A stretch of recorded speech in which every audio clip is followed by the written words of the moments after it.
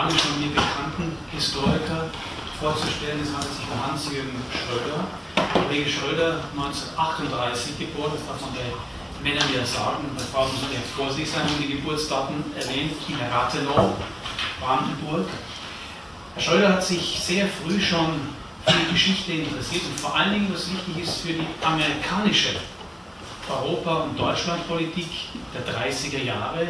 So lautet auch im Grunde präzise gesprochen der Titel seiner Doktorarbeit Deutschland und die Vereinigten Staaten von Amerika 1933 bis 1939 und achte immer auf den Untertitel, die sind wichtig, die präzisieren nämlich in der Regel noch ein Thema, nämlich Wirtschaft und Politik in der Entwicklung der deutsch-amerikanischen Beziehung des deutsch-amerikanischen Gegensatzes. Und Wirtschaft ist ein ganz enormer bedeutender Faktor, den Kollege Schröder schon sehr früh in seinen Forschungen erkannt hat, welche wichtige Rolle Wirtschaft für Politik, auch für die Politik der internationalen Beziehungen äh, spielt. Und so ist es eigentlich kein Wunder, dass wir da mit Herrn Schröder auch einen Experten vor uns haben, der ein ausgewiesener Kenner der Geschichte des Marshallplanes ist, wo ja Wirtschaft und Politik eng verschränkt sind. Aber ich muss noch einiges sagen. Ähm, Kollege Schröder hat äh, promoviert bei Kollegen Angermann in Köln, ein ausgewiesener Experte zur Geschichte der Vereinigten Staaten im 20. Jahrhundert. Er ist dann nach seiner Promotion nach Mainz gekommen, an das Institut für europäische Geschichte, ein doch wichtiger, wenn man so will, auch wissenschaftspolitischer, wissenschaftsgeschichtlicher Standort, Gedächtnisort von Begegnungen zwischen europäischen Historikerinnen und Historikern Dort kam er auch in Berührung mit Forschern und Historikern aus Mittel- und Osteuropa, wichtige Begegnungen im, Zeichen des Kalten Krieges. Herr Schröder war dort stellvertretender Leiter, Direktor dieses Instituts für europäische Geschichte und 1980 schließlich bekam er einen Ruf an die Universität Gießen. Dort hatte er und hatte immer noch den Lehrstuhl inne für Zeitgeschichte, moderne Geschichte, neueste Geschichte unter besonderer Berücksichtigung der angloamerikanischen Geschichte. Und wenn man sich die Publikationen von Kollegen Schröder näher ansieht, kann man sehen, welche Bereiche er abgedeckt hat. Marshallplan, Geschichte des Marshallplans, seine Propaganda in Berlin. Ich zitiere jetzt nur einige äh, Werktitel. Transatlantic Images and Perceptions, Germany and America since uh, 1776 also auch die neuere Geschichte einbeziehen. Von Versailles nach Potsdam, ein weiterer Titel, Deutsche Frage und internationales System. Äh, nicht äh, unerwähnt bleiben soll das UTB-Taschenbuch Einführung in das Studium der Zeitgeschichte. Ich habe selbst äh, fast, würde ich sagen, zehn Jahre, 20 Semester mit diesem UTB-Taschenbüchlein gearbeitet im Rahmen von Bo-Seminararbeiten mit vielen anregenden Beiträgen zu deutschen Historikerkontroversen, zur Zeitgeschichte als Aufgabe, zur Zeitgeschichte als Wissenschaft. Demokratie und Hegemonie, hier geht es um Wilsons Konzept einer neuen Weltordnung. Konfrontation und Kooperation, Publikation als Herausgeber, Confrontation and Cooperation, Germany and the United States in the era of the World War I die deutsche Frage als internationales Problem im Kontext der amerikanischen Politik und eine Herausgeberschaft, eine weitere Marshallplan und westdeutscher Wiederaufstieg, Positionen, Kontroversen, eine Publikation, wenn ich nicht irre, im Steiner Verlag erschienen, beziehungsweise in Wiesbaden erschienen 1990. Wir haben einen Titel, meine Damen und Herren, Demokratie und Hegemonie, und heute haben wir einen Titel, da geht es um Hegemonie und Integration, nämlich um die Frage, welche Rolle spielten die USA am Beginn der westeuropäischen Integration und welche Rolle insbesondere kam hier der Marshallplan, dem viel zitierten European Recovery Program zu. Und ich freue mich, Kollege Schröder, dass Sie zu uns nach Hildesheim gekommen sind, wieder im Vorspann zu diesem Vortrag einem langen Interview zur Verfügung standen und jetzt einen hochschulöffentlichen Vortrag uns noch bieten. Ich freue mich auf Ihre Ausführungen. Herr Gehler, vielen Dank für die Einführung.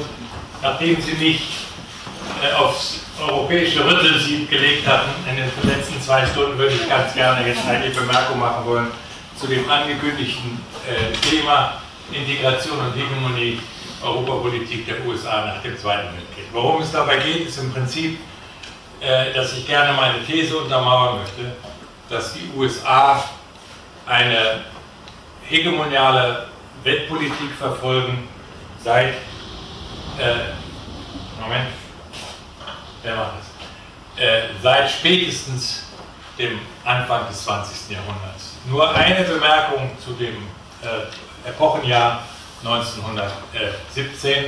Hier können Sie gewissermaßen bündeln die Veränderungen in der Weltpolitik, die einmal gegeben sind durch den relativen Gewichtsverlust Europas und den Aufstieg der USA zur äh, Weltmacht, der sich vorher vollzieht, aber mit der Intervention der USA im Ersten Weltkrieg unwiderruflich Realität ist. Und sie haben im Ersten Weltkrieg auch mit äh, Wilsons 14 Punkten äh, den Anspruch der USA nach der Etablierung einer Pax Americana, das heißt einer Weltordnung, die sich weitgehend orientiert an amerikanischen Ordnungsvorstellungen. Wenn Sie so wollen, ist das eine liberal-kapitalistische äh, Weltordnung, die Wilson vorschlägt äh, und die äh, durchgesetzt werden soll.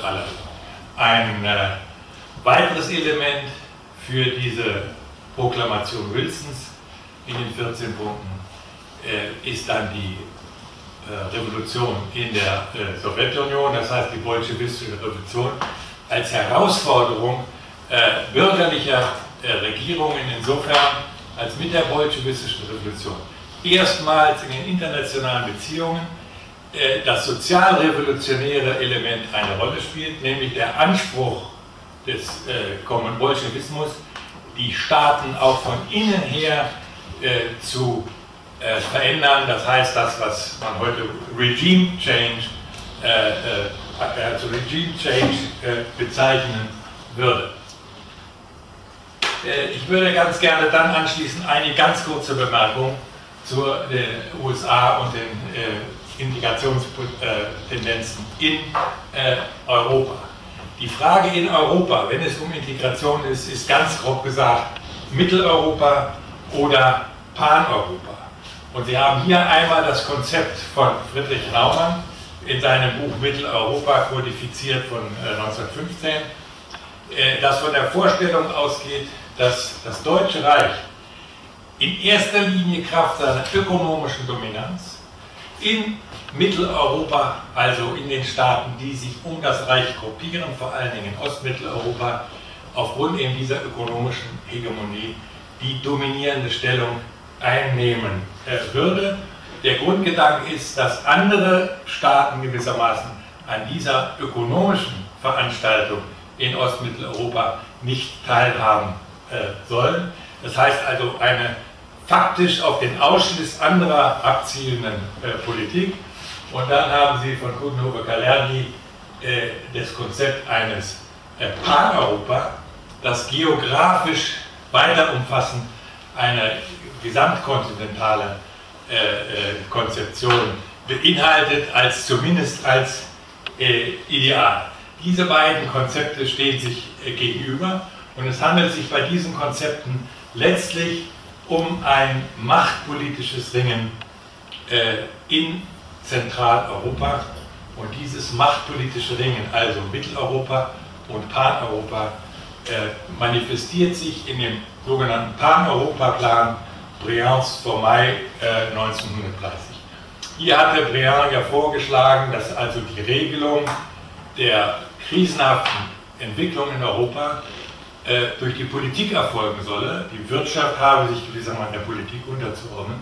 Das ist für Deutschland nicht akzeptabel, weil Deutschland als politisch geschwächte Macht gerade die Ökonomie als Vehikel für die Dominanz in Europa äh, beansprucht. Das heißt, hier äh, hat der Pan-Europa-Plan unter machtpolitischen Gesichtspunkten überhaupt keine Chance, äh, realisiert zu werden. Es ist daher auch illusorisch, wenn im Festreden dieser Tage man sich auf Pan-Europa äh, à la Briand beruft. Das ist ein äh, historischer Rückgriff, der nicht funktioniert. Vor allem deshalb nicht funktioniert, weil die USA hinter den Kulissen dieses Projekt schon torpediert hatten, bevor Berlin darüber überhaupt nachdenken konnte. Die Berliner Politik ist so abhängig von den USA, dass sie sich nicht gar nicht leisten konnte, gewissermaßen ein innereuropäisches Konsortium zu gründen, an dem die USA nicht beteiligt waren, in dem Sinne nicht beteiligt waren, dass sie ausgeschlossen waren von der künftigen ökonomischen Entwicklung in äh, Europa. Sie haben hier also ein Beispiel für die indirekt informelle Einflussnahme der äh, USA. Die USA werden dann herausgefordert auch durch die Mitteleuropapolitik Brünings. Das heißt, die deutsche Politik unter Reichskanzler Brüning versucht, durch ihre Deflationspolitik das Deutsche Reich in eine Lage zu bringen, dass es den Tiefpunkt der Krise schneller durchschritten hat als die europäischen Nachbarstaaten. Und dass es dann den Aufschwung äh, früher benutzen kann, um die Staaten, vor allem in Südosteuropas, Osteuropas, abhängig machen zu können, ökonomisch abhängig machen zu können vom äh, äh, Deutschen Reich. Und dies wiederum bringt auch die USA auf den Plan, weil sie gewissermaßen diese liberale Weltordnung, die Wilson in der Pax Americana proklamiert hat, herausgefordert äh, sehen. Genauso natürlich ist die nationalsozialistische Großraumpolitik eine grundlegende Herausforderung für amerikanische äh, Ordnungsvorstellungen. Äh, die USA, für die USA ist diese ökonomische Herausforderung deshalb so gravierend, weil die USA eben äh, in, den, in der Zwischenkriegszeit vor allem das ökonomische Potenzial benutzen, um Einfluss zu nehmen auf die äh, äh, europäische Politik. Und äh, dieses Konzept heißt Economic Appeasement. Mit Economic Appeasement ist gemeint der Abbau von ökonomischen Spannungen. Das heißt, wenn es gelingt, die ökonomischen Spannungen infolge der Weltwirtschaftskrise abzubauen, dann würde es auch gelingen, so die amerikanische Philosophie, äh, politische Verständigung in Europa herbeizuführen. Der Begriff Appeasement ist aber irreführend in diesem Zusammenhang, denn unter Economic Appeasement verstehen die Amerikaner nicht Konzessionen ihrerseits, sondern nur den Abbau von ökonomischen Spannungen. Sie selbst beharren auf ihrem Konzept und benutzen dieses Economic Appeasement auch als Gegenmittel gegen die Großraumwirtschaft des äh, Dritten Reiches. Und äh, wenn man all dieses, was ich nur angedeutet habe, zusammennimmt, dann kommt man eben zu dem Schluss, dass die These, die Sie immer noch finden in äh, Lehrbüchern und äh, wissenschaftlichen Untersuchungen, die USA hätten in der Zwischenkriegszeit eine isolationistische Politik betrieben, Legende ist, ich beziehe mich hier auf den amerikanischen Historiker William Appleman äh, Williams, äh, der diese These bereits äh, Ende der 50er Jahre in den äh, Raum gestellt hat. Das ist für unseren Kontext insofern wichtig, als Sie hier ein Beispiel haben für die indirekt informelle Einflussnahme und Einflussnahmeversuche der USA. Äh, und es ist natürlich äh, nicht vorstellbar, dass sich das seitens der USA ändert. Und ich würde ganz kurz äh, gerne eingehen auf die Proklamierung der Pax Americana durch Franklin Roosevelt. Hier sind zwei Ereignisse zu nennen. Einmal die sogenannten vier Freiheiten, das ist äh, die äh, Jahresbotschaft Roosevelts vom 6. Juni 1941, in, in der er die vier Freiheiten kodifiziert und äh, die sind dann von dem amerikanischen äh, Maler Norman Rockwell auch visualisiert worden und dann im Zweiten Weltkrieg als Flugblätter abgeworfen worden, um äh, Bedeutung dieser vier Freiheiten zu unterstreichen. Das ist einmal eben die Freiheit der Rede, die Freiheit der Religionsausübung, dann die Freiheit von Mangel und die Freiheit von äh, Furcht. Sie sehen, dass das also an amerikanischen Thanksgiving-Modellen äh, orientiert ist, äh, dieses äh, Bild. Sie, wichtig das ist auch in der amerikanischen Erinnerung, sehen Sie daran, dass auf dem Roosevelt Memorial diese vier Freiheiten in einem Gedenkstein eingemeißelt sind und dass selbst die Regierung George W. Bush eine Zeit lang allerdings nur auf der Homepage des Weißen Hauses sich auf diese vier Freiheiten im Zusammenhang mit dem Irakkrieg äh, berufen hat. Ähm, also die äh, vier Freiheiten und die äh, Atlantikcharta äh, sind, also neben den vier Freiheiten ist dann die Atlantikcharta zu nennen. Auch hier will ich nicht weiter auf Einzelheiten eingehen. Es ist in acht Punkten im Grunde das Konzept, das Woodrow Wilson äh, äh, proklamiert hatte, also das Konzept einer äh, liberalen Weltordnung, das heißt also der Verzicht auf territoriale äh, Erwerbung, Antikolonialismus und dann das, was in den äh, vier Freiheiten äh, genannt wurde. Auch hier propagandistisch entsprechend verbreitet äh, worden. Äh, diese beiden Schlüsseldaten, wenn Sie so wollen, 17 und 41, mit der akzentuierten äh, Formulierung einer Pax Americana, sind dann äh, die Daten, die auch vorgeben, die weitere äh, Politik. Und gestatten Sie mir dann, bevor ich also auf die westeuropäische Integration äh, zu sprechen komme, ein paar wenige Bemerkungen zur äh, Genesis äh, des Kalten Krieges. Die amerikanische Beteiligung am, ersten, am Zweiten Weltkrieg erfolgt ja in Reaktion auf den japanischen Angriff auf Pearl Harbor, aber äh, nicht Japan ist der Schwerpunkt der amerikanischen Kriegführung, sondern Europa der Schwerpunkt der amerikanischen äh, Kriegführung.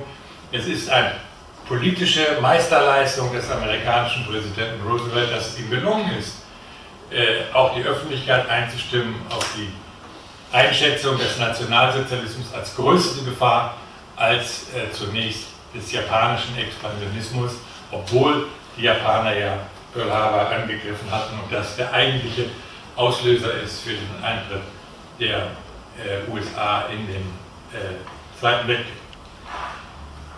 Die äh, Entstehung des Kalten Krieges ist äh, in Geschichtswissenschaften äh, lang debattiert, die Verantwortlichkeiten immer wieder umstritten. Ich würde nur ganz gerne einige Rahmenbedingungen ganz kurz antippen, um dann auch deutlich machen zu können, dass eben die westeuropäische Integration auch Reaktion ist auf das, was in, im weltpolitischen Rahmen und im europäischen Rahmen in der Herausbildung des Kalten Krieges sich äh, vollzieht. Und äh, hier haben Sie bereits angedeutet, einmal den ideologischen Gegensatz zur bolschewistischen Revolution, was ich hier als Wilson versus Lenin bezeichnet habe. Und dann äh, sich ergebend aus den äh, Vorstellungen der äh, Pax Americana eine, das Konzept Roosevelts als One World. Das heißt, eine ungeteilte Welt, die organisiert ist nach primär, möglichst ausschließlich amerikanischen äh, Ordnungsvorstellungen. Und dieses äh, Konzept der One World wird nun in Frage gestellt, weil der Zweite Weltkrieg ein nicht erwartetes Ergebnis hat, nämlich den Aufstieg der Sowjetunion zur äh, Weltmacht. Und Sie haben hier äh, mit Schwerpunkt in Europa, aber letztlich global, äh, verschiedene Elemente des Gegensatzes. Einmal den machtpolitischen äh, Gegensatz zwischen den äh, Großmächten, der aber asynchron ist. Sie haben einmal die konventionelle Überlegenheit der Sowjetunion in Europa, dann aber auf der anderen Seite das Atomwaffenmonopol der äh, USA. Dann haben Sie die äh, ökonomische Konfrontation. Die Sowjetunion hat die größten Opfer hinnehmen müssen im äh, Zweiten Weltkrieg und ist natürlich äh, bestrebt, den äh, Wiederaufbau in Gang zu setzen. Aber die USA verweigern der Sowjetunion sowohl die Land-Lease-Lieferungen als auch äh, Kredite. Und schließlich äh, kommt es auch zum Showdown in der Frage der Reparation. Also im Prinzip sind die USA nicht bereit, größere Reparationszahlungen aus den Westzonen äh, zuzulassen. Und schließlich haben wir noch die geopolitischen Konfliktfelder. Deutschland und Österreich sind hier als erster Stelle zu nennen als von vier Mächten äh, äh besetzte Länder, äh, die auch an der geografischen Nahtstelle äh, des Kalten Krieges äh, sich, äh, sich befinden. Dann haben sie die Sowjetisierung Ost- und Südosteuropas, das heißt also die Dominanz der Roten Armee und schließlich Streitigkeiten im Iran, die Sowjets wollen zunächst den Iran nicht wieder verlassen, Stichwort Aserbaidschan, äh, Erdöl, das spielt heute noch eine Rolle, und dann die Konflikte in Fernost, äh, die Interessenüberschneidung in Japan, die Sowjetunion wird nicht beteiligt an, an der Besetzung Japans, Teilung Koreas. Und dann äh, China, der Bürgerkrieg in China, der, wie Sie äh, wissen, endet mit der Machtergreifung äh, Maos dann 1949. Äh, äh, auf diesem Hintergrund der Ost-West-Konfrontation äh, kommt es dann 47 äh, zu dramatischen Entscheidungen äh, in Europa. Ich habe das mal genannt, Entscheidungsjahr äh, für Europa. Äh, das heißt, Sie sehen hier die Moskauer Konferenz, äh, als Versuch in irgendeiner Weise die Gegensätze zu überbrücken. Aber noch während der Konferenz gibt äh, Truman eine Rede vor dem Kongress ab, äh, die als Truman-Doktrin bekannt geworden ist, in der er das Versprechen abgibt, alle Staaten zu, zu unterstützen, die von innen oder von außen sich äh, vom äh, Kommunismus äh, bedroht werden. Und äh, kurz darauf gibt eben der Außenminister Marshall die berühmte Rede in Harvard 5. Juni 1947, in der er ein europäisches Wiederaufbauprogramm äh, ankündigt. Die äh, Konferenz dann, die darauf folgt, im, im, Juni bis Juli, die erste Tranche, beschäftigt sich dann mit der Frage der Einbeziehung äh, Deutschlands und der Sowjetunion. Die Sowjetunion, Molotow, Außenminister Molotow, lehnt eine Beteiligung am äh, Marshallplan äh, ab. Äh, mit der Begründung, das sei Dollar-Imperialismus, äh, liegt damit nicht so ganz falsch, weil ja die Beteiligung der Sowjetunion am Marshallplan, ich komme nachher noch darauf zurück, äh, faktisch bedeutet hätte eine Mitsprache über die Wirtschaftsentwicklung in der äh, Sowjetunion. Äh, in, diesen, äh, in diese Sommermonate fällt dann auch die Publikation äh, des Artikels von George F. Kennan in Foreign Affairs, The Sources of Soviet Conduct, äh, also ein Manifest zur äh, Politik der Eindämmung nach dem Motto gewissermaßen äh, äh, die westlichen Staaten und Bevölkerung müssen äh, entschlossen Widerstand leisten gegen eine potenzielle weitere Expansion nach Westen der Sowjetunion und dann äh, in den Monaten Juli bis äh, September wird der Marshallplan äh, festgeklopft, also eine Vorbereitung zur Realisierung des amerikanischen Hilfsprogramms. Äh, in der Außenministerkonferenz in London sind dann keine Einigungen unter diesen Bedingungen mehr zu erwarten über die deutsche Frage, also etwa die Beteiligung der Sowjetunion am Ruhrgebiet eine Reparation oder auch die Frage einer deutschen äh, Zentralregierung. Äh, hier sehen Sie im Grunde das Ergebnis des Jahres 47, nämlich die geografische Teilung äh, Europas und die Teilung geht eben mitten durch äh, Deutschland, wobei interessanterweise ja Österreich hier nicht als geteilt äh, dargestellt ist. Äh, dann zum äh, European äh, Recovery Program.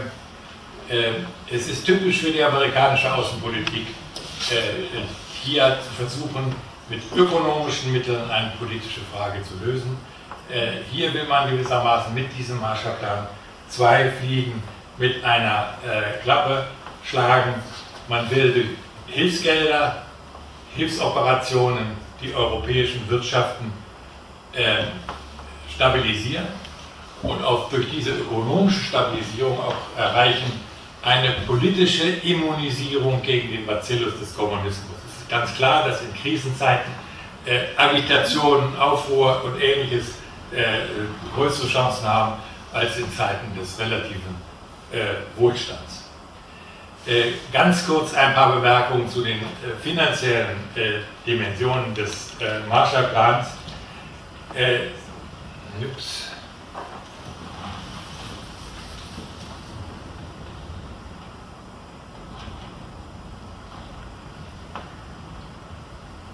Sie sehen, dass ungefähr sind 13 Milliarden geflossen und dass das Geld dann im erst Wesentlichen verteilt ist auf einige wenige Staaten.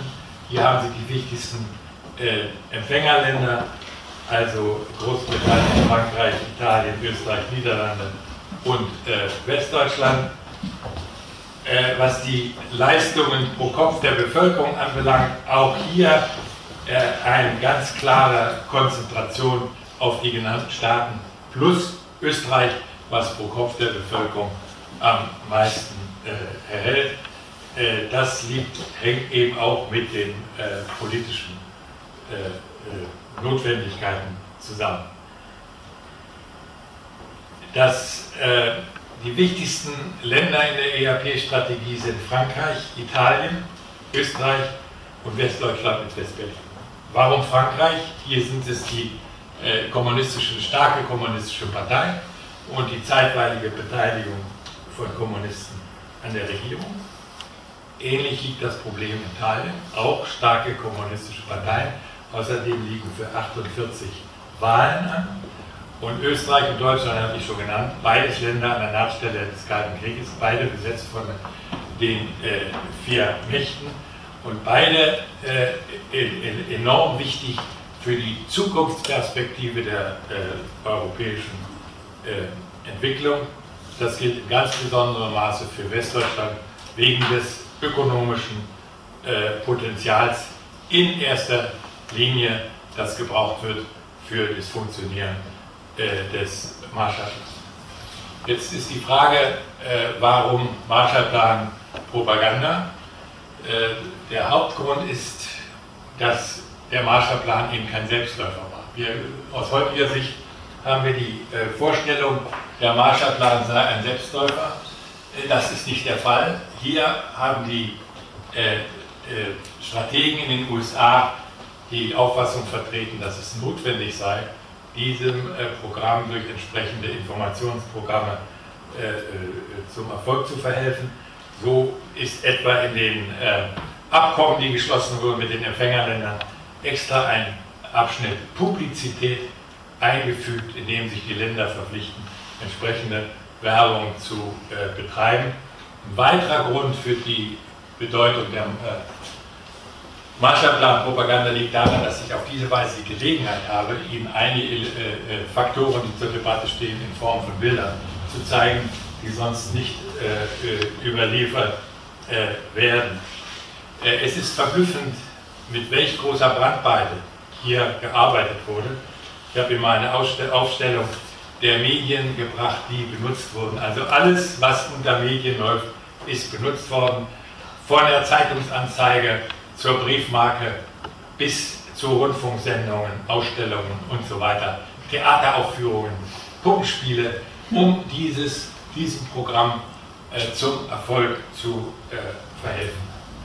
Und dann äh, stellt sich die Frage, in, und im Rahmen dieses äh, Informationsprogramms, Propagandamaßnahmen, ist besonders zu erwähnen das Filmprogramm. Ich möchte jetzt, weil ich darauf her nochmal darauf zurückkomme, nur äh, kurz hinweisen auf einige äh, Homepages und vor allen Dingen diese Publikation, die ich da auf dem Tisch liegen sehe, sehe ähm, von, äh, über die Filme des Marshallplans, die von der Bundeszentrale äh, herausgegeben äh, worden sind, die also einige dieser Filme enthalten, leider nicht die besten, das ist aber ein anderes Problem. Äh, The Marshall Plan at Work ist eine Serie und sie behandelt nun alle wichtigen, äh, äh, die, die, meisten Empfängerländer mit ihren individuellen Problemen und ich darf das im Vorgriff sagen, auch in ihrer Verzahnung mit europäischen, gesamteuropäischen äh, äh, Problemen. Und dann stellt sich die Frage, welches sind die Hauptziele der Marshallplan-Propaganda? Und hier würde ich vier Elemente vor allen Dingen betonen. Also die Zustimmung der Bevölkerung in den Empfängerländern. Das ist äh, nicht überall selbstverständlich. Also in Frankreich zum Beispiel gibt es äh, starke Widerstände. Dann die Zustimmung äh, eben der Öffentlichkeit und der Gesetzgeber in den USA. Dann die Zurückdrängung des sowjetischen Einflusses in der Propaganda, also die Propagierung des Privatkapitalismus äh, im Gegensatz zum Staatssozialismus. Und dann sehr wichtig die Neutralisierung äh, der europäischen nicht-kommunistischen Linke. Also hier haben Sie, wenn Sie so wollen, schon das Dubček-Phänomen, dass die Amerikaner nicht daran interessiert sind, dass sich zwischen Staatssozialismus und äh, Staatssozialismus und äh, Privatkapitalismus so eine Art äh, moderner Sozialismus hätte entwickeln können. Das ist nicht äh, gewünscht. Und dann äh, eine kurze Bemerkung zu den, oder nicht ganz so kurz, zu den Hauptthemen der äh, Marshall-Propaganda. Das ist einmal die Überwindung des Mangels. Gucken Sie sich die beiden Bilder an es ist ganz interessant, in der holländischen Urfassung hatte man noch Wurst auf dem Brot und in der Fassung, die dann verteilt wurde, in englischer Sprache, hat man vorsichtshalber das, äh, die, Butter, das, äh, die Wurst runtergenommen, um die Leute nicht daran zu erinnern, dass sie keine hatten. Äh, also die Überwindung des Mangels ist ein wichtiger Punkt. Hier äh, Schuhe und Leder durch den Marshallplan. Dann Arbeitsbeschaffung. Die sowjetische Propaganda hat immer behauptet, ihr habt äh, äh, das, der Marshallplan bringt Arbeitslosigkeit, dem muss man entgegenwirken. Wiederaufbau generell als ein Thema. Sie sehen hier die Gießkanne, die gewissermaßen äh, den Anschieb, Anschub gibt für den Wiederaufbau. Dann Produktivität, kommen wir auf die Produktivität auch nochmal zurück. Äh, das heißt also die Produktivitätssteigerung äh, äh, als wichtiger, ein wichtiges Element für ökonomischen Fortschritt und Wohlstand. Das ist das, was man uns gegenwärtig in der Bundesrepublik vorenthält. Die deutsche Industrie hat Produktionssteigerung bis Produktivitätssteigerung bis 18 Prozent. Die Reallöhne gehen zurück. Das ist gewissermaßen der moderne Privatkapitalismus, gehört aber nicht hierher. Dann Hilfe zur Selbsthilfe. Ganz wichtig, dass eben der Marshallplan Anschubfinanzierung ist. Sie sehen, diese 5% sollen das ganze Ding ölen, um den wieder, die Wirtschaft wieder in Gang zu setzen. Und dann die politische Dimension, vor allem mit der Adresse an äh, Österreich und Deutschland. Man sagt in Österreich, wenn ihr fleißig arbeitet, bringt das euch auch politische Unabhängigkeit, also in die Hände gespuckt. Und äh, ähnlich in Deutschland. Wir sind dabei, Deutschland, Westdeutschland spricht mit. Und man hat hier sogar also solche äh, bebilderten, cartoon-ähnlichen äh, Sprüche dann losgelassen. Äh, das ERP bringt Deutschland Glück. Die neue Bundesrepublik ist nun auch in Paris vertreten. Dort ist die OEC. Vereinte Kraft hilft aus den Nöten. Und äh, sowas wurde eben in Hülle und Fülle verbreitet. Hier ist jetzt das Equipment zu schnell. Äh, entscheidend ist, um auch mal etwas zu dem heutigen Thema zu sagen, die Visualisierung der europäischen äh, Kooperation. Hier Bü Poster, Bücher und Broschüren, ich habe Ihnen mal ein paar Beispiele mitgebracht. Hier nur zusammen, äh, das ist ein skandinavisches Exemplar, nur zusammen können wir den Werk erklimmen, ganz klar. Dann eben äh, ein Kinderbuch, ein deutsches Kinderbuch, alle Völker in einem Boot in Europa, bessere Zukunft nur, wenn wir gemeinsam rudern. Dann Brücken statt Zäune, das deutet schon also auf den Abbau zumindest von Zollschranken. Gemeinsam arbeiten, Zusammenarbeit schafft äh, Europa. Und hier fällt auch in dem Text, das können Sie nicht so gut sehen, der Begriff nur durch den Zusammenschluss und durch Arbeitsteilung kann jener, jener Großraum geschaffen werden, der in der Epoche der Technik, der Zunahme der Menschheit und der Aufteilung der Welt in große Machtgruppen Europa eine Chance gibt. Äh, mir ist es wie Augen, äh, Schuppen von den Augen gefallen. Äh, dieses Pamphlet ist gemacht worden von einem Mitarbeiter, der im Dritten Reich eben Pamphlete für die Propagierung der Großraumwirtschaft geschrieben hat, nahtlos übernommen worden in die OEC. Na gut. Äh, hier haben Sie dann eine ganze Reihe von Beispielen wo einfach die europäische Kooperation äh, äh, visualisiert wird. Freie Bahn im Marshallplan, also Abbau von Zöllen. Dann ganz wichtig, äh, äh, Cooperation means prosperity, also der Wohlstand durch, Verein, äh, durch Kooperation. Hier, Prosperity, the fruit of cooperation. Oder hier das österreichische Plakat, ein einiges Europa, Wohlstand. Interessant ist, dass auch die Verzahnung der Nationalwirtschaften mit den anderen Wirtschaften äh, äh thematisiert wird, wie hier eben Österreich braucht 18 Länder, 18 Länder brauchen Österreich. Und äh, äh, das eben als Hinweis, die Interdependenz ist eine Lebensnotwendigkeit. Vor allen Dingen im deutschen Fall musste man das sehr geschickt visualisieren, da konnte man das nicht so offen schreiben. Deutschland war gerade besiegt worden, es ist ja ein paar Jahre mal gerade her, dass Deutschland äh, kapituliert hat. Jetzt braucht man Deutschland für den Marshallplan. Da hat man eben im Film diese ineinandergreifenden Zahnräder genommen, um deutlich zu machen, die deutsche Wirtschaft muss verzahnt sein mit der europäischen Wirtschaft. Also im Grunde die Visualisierung der europäischen äh, Zusammenarbeit.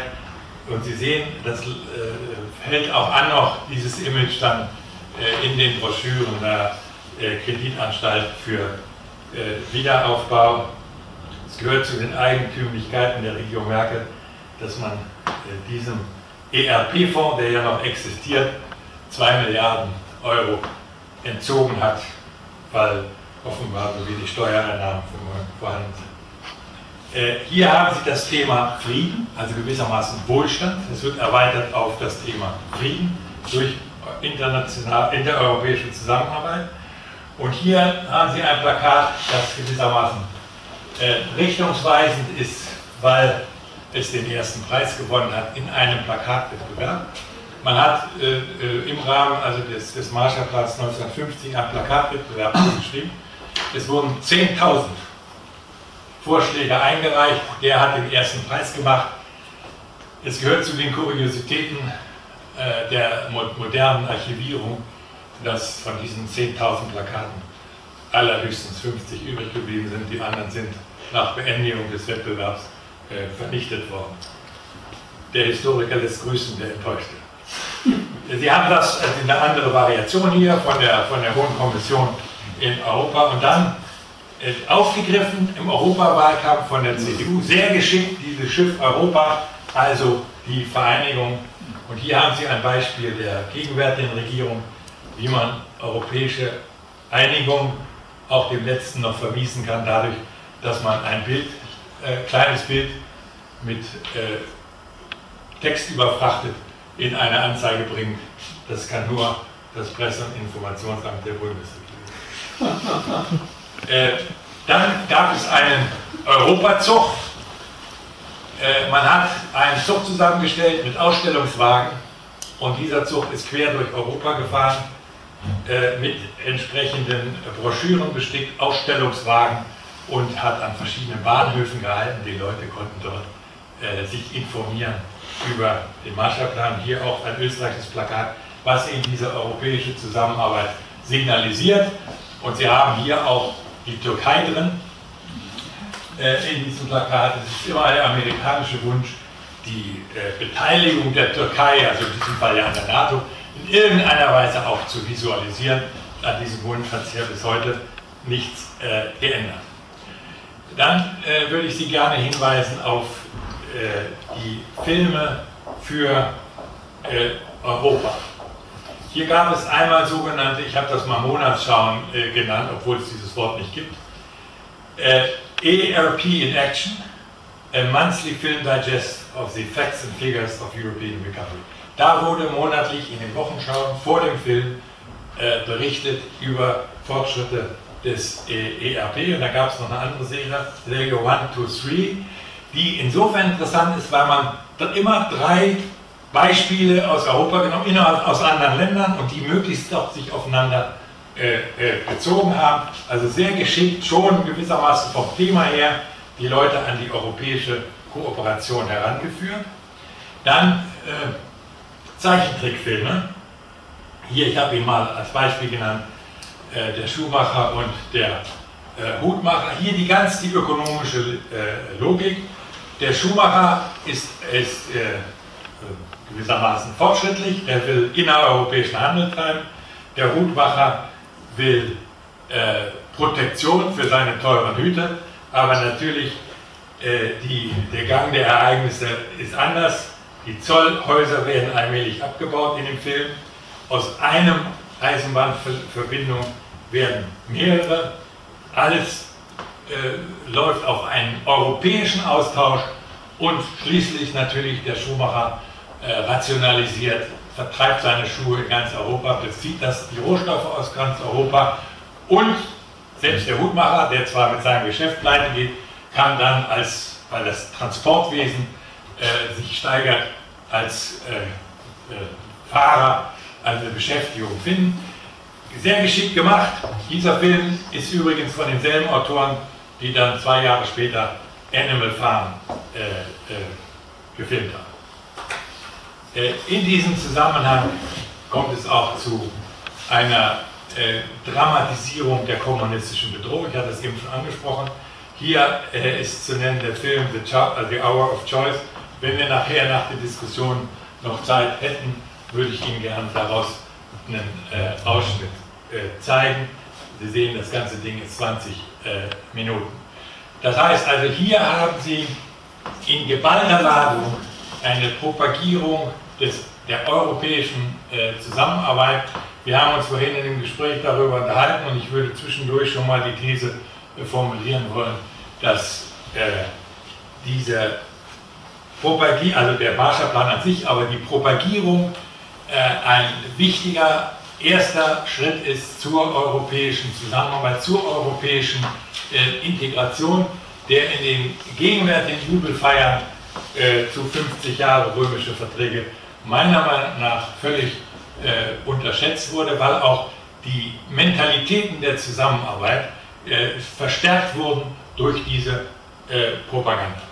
Und äh, wenn man dann von der Propaganda weggeht in die äh, Realpolitik, dann sind wir äh, beim Schumann-Plan, bei der Initiative Schumanns vom 9. Mai 1950 in dem er, der, der, wie Sie wissen, die, äh, den Zusammenschluss der deutsch-französischen und dann später auch anderer europäischer Staaten der Stahlindustrie, Kohle- und Stahlindustrie äh, vorschlägt, also eine Art Pool mit einer supranationalen äh, Behörde.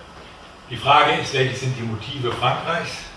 Ganz einfach, if you can't beat them, join them. Das heißt, Frankreich hat die Einsicht äh, erworben, dass der deutsche Aufstieg, Wiederaufstieg ökonomisch, die, die, das anlaufende Wirtschaftswunder, wie man später sagt, letztlich dazu führt, dass Westdeutschland ökonomisch dominant sein wird, allalong, und dass man gewissermaßen durch eine Zusammenarbeit mit Deutschland sich einbringen kann in ein gemeinsames äh, Unternehmen, etwas, was sich dann ökonomisch, äh, finanztechnisch im Euro äh, später äh, wiederholt.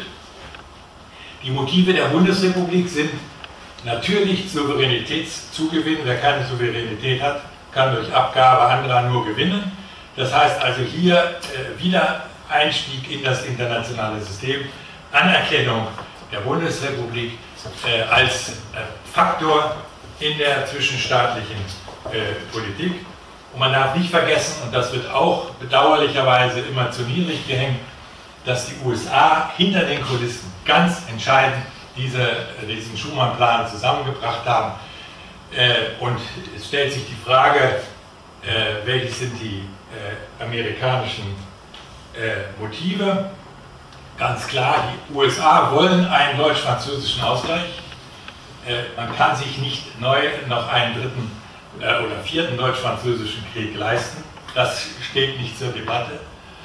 Ähm, und äh, gleichzeitig will man ähnlich wie Frankreich auch die deutschen Ambitionen ein bisschen niedriger hängen, ein bisschen eindämmen. Das heißt, ein Deutschland, was eingebunden ist in den abzeichnenden europäischen Integrationsprozess, wird nicht so leicht in der Lage sein, eine eigenständige, ich übertreibe mal, Großmachtpolitik äh, zu betreiben. Und völlig zu Recht ist dann der 9. Mai, also die Erklärung Schumanns, auch als Europafeiertag äh, beschlossen worden. Es war in Mailand, glaube ich, 1985 und seit 86 wird er auch so begangen. Es gibt äh, Wunder, also zunächst mal die Werbung für den äh, Schumann-Plan, eben mit dem Hinweis, erster Schritt zur Einheit Europas, ganz wichtig, dass das eben entsprechend äh, propagiert wird. Äh, Sie haben hier diese Plakette, von der ich nicht weiß, äh, wann sie entstanden ist. Sie ist also im Haus der Geschichte auch ausgestellt Bonn. Und dann eben den 9. Mai, es fängt hier etwas wieder an, geht dann etwas fortschrittlicher weiter äh, mit der Visualisierung dieses Europatages.